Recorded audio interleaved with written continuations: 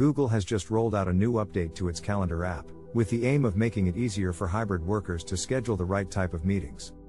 The app now includes location suggestions based on users' recent locations, helping them to save time when adding an appointment into their calendar.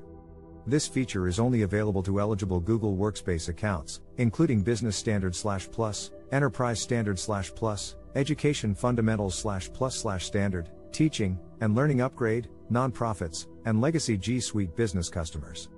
As more people shift towards hybrid working, Google has added new features to help make the transition easier.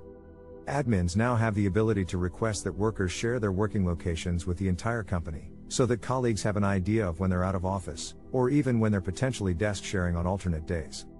Google is also looking to reduce office days to make hybrid working smoother, while the calendar now includes location suggestions to make finding a suitable time easier.